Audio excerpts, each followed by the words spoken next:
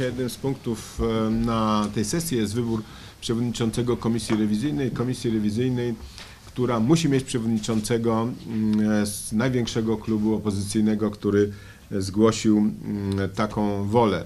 E, Uważamy, że mm, w dalszym ciągu takie uciążliwe, intensywne i e, zgłaszanie pana mm, e, Ślęzaka jako kandydata na przewodniczącego jest takim działaniem trochę destrukcyjnym.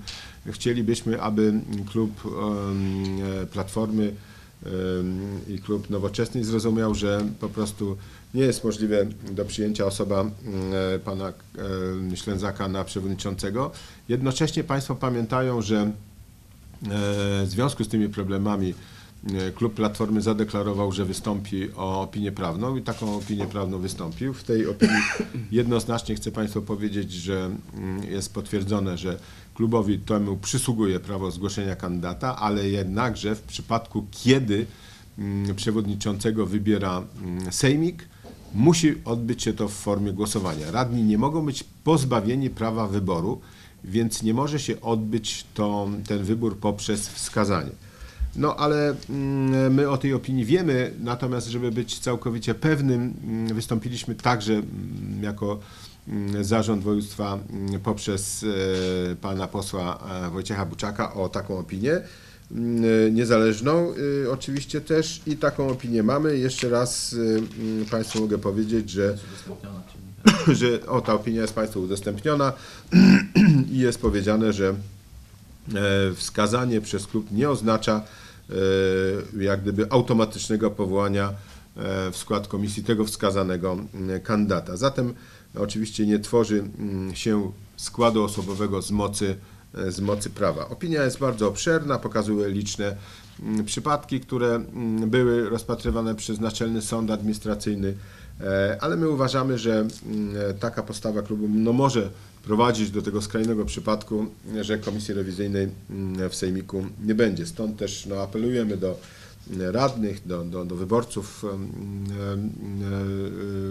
e, Platformy Nowoczesnej, e, żeby po prostu tą rzecz przeanalizowali. Proszę Państwa, można ten przykład tej destrukcji, tak ją należy na ten moment, albo próby destrukcji na ten moment nazwać, porównać do faktu, kiedy klub największy nie zgłasza w ogóle kandydata, prawda?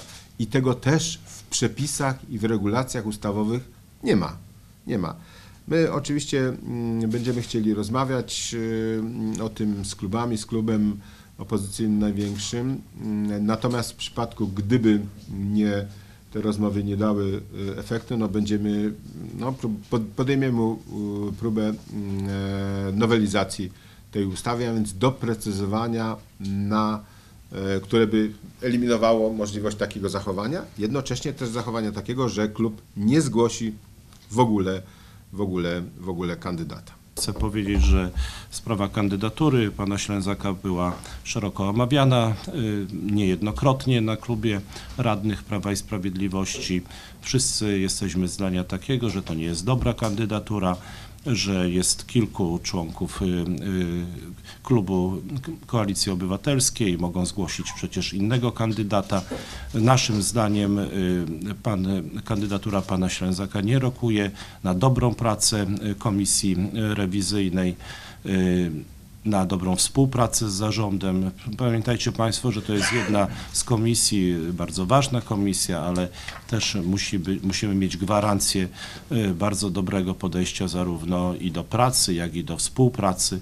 Przecież jesteśmy tutaj wszyscy po to, żeby pracować na rzecz województwa podkarpackiego. To jest nasz cel, to jest nasze zadanie i uważamy, że pan Ślęzak nie gwarantuje po prostu tej dobrej współpracy i dobrej pracy.